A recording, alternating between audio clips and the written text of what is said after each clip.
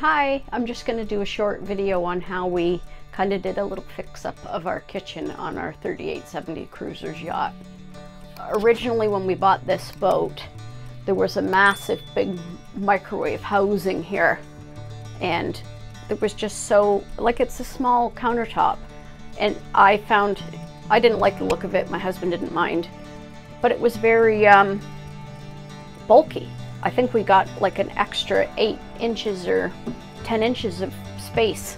So now we can tuck, I have, oh, there's pictures, but tuck the microwave in a bit more. Um, we also changed out the tap. Originally it was just a faucet and this was where the pullout was, but now this is a pullout faucet and this is where our dish soap goes. Now we don't have to have dish soap on the counter. The other thing we did was I put in this faux tile backsplash. Um, the back of it is like this vinyl and it's the shape of the hull. So my husband made like a bit of a support structure, um, almost kind of like a by two by, what was it, Trev? Two by twos? Two by twos.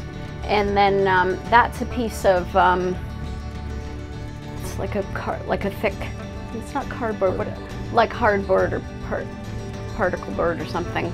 It's thin, it's like a eight, eight inch because it's wider. So you can't use like plywood because you never get it in there because it's wider at the back than it is at the front. So this was able to kind of eh, bend when we stuck it in there and we just put adhesive on it. Um, I'll post pictures of, that was like um, peel and stick tile from Amazon. Um, whatever the look you want, you can, you know, you could use um, what do you call that stuff? Peel and stick wallpaper, whatever you want, and colors you want or what have you. Um, eventually, this is this was a fail, just so you know. This is kind of, if you see how it's a little bit rusty. Okay, this works fine. It's just a regular, probably original, but this is a bit rusty. I did actually painstakingly tape all this off, sand the heck out of it, and use high heat paint but it didn't last. So that was a fail. Anyway, um, oh, what else did we do? So this originally had, um, you know, when it's the like fluorescent bar under here, but you could see it because this little piece of trim wasn't there. So I went to, I don't know, Lowe's or Home Depot, got a piece that I thought would be a, a good size of, I think this might be maple and tried the best I could to stain it the same. And um, we just glued it on and taped it up. And now you can't, so it looks a bit more finished, the trim's a bit nicer, and now you can't see the lights underneath. And that was it. I think it looks so much better. So that's the, whatever, you know, you have your own boat.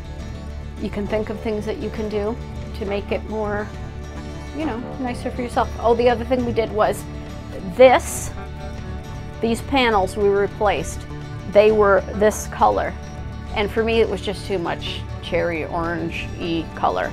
So these just, you know, you take it apart, pop them off, and you can just order them right from this, um, Norcool, whatever, Norcool or whatever it was website. And oh, and some of the trim was a bit dented.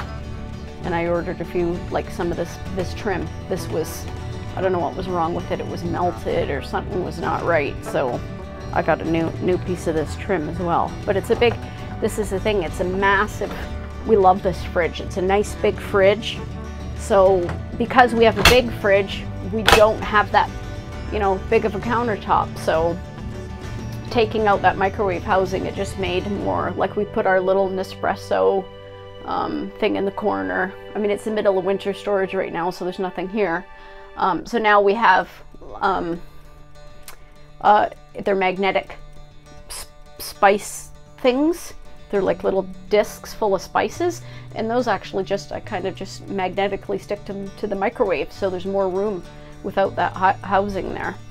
Eventually I would love to take this whole thing off and get a Corian countertop and replace, I, actually I don't know if I would even replace this because the burners on this are so small you have to have a tiny little pot. Well, I like to cook with a big you know, so you can't even have two things. So I'm thinking we scrap this all together and then just have a, you know, this portable induction cooktop if you need to, you know, cook down here and put, put it on and then it's all countertop space.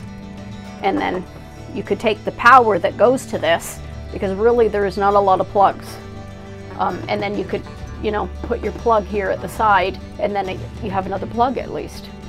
So anyways, that's the plans. We're just kind of working on things. And then you could, you know, look at your own boat and think, well, how can I use it better? How was the space, ma you know, maximize the space, uh, the look. And so this worked for us and yeah, we, we really like it. I know somebody that has, like we just have a microwave here, but there's a really nice, I'd like to buy one, but it's like 500 bucks. Um, it's like a Cuisinart. It's a microwave, it's an actual oven. And what else is it? It's a microwave oven and air fryer. Like one of them, it's like a three in three in one. So you could bake cookies in it, pizza and everything in it. Anyways, and then you could have that there. So that when we do eventually, hopefully, go on long distance trips, we actually have an oven because I mean, you really only have this.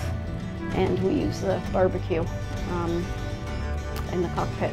And that's worked well for us for now, but you know, if you're going whatever, long distances, it would be better. So that's it. That's pretty much my video on my tile. You could just go on Amazon, it's cheap. I mean, actually, you can get the stuff from the dollar store now different kinds or whatever. So whatever your look is, this is what I went with and that was it. Neutral. Over and out.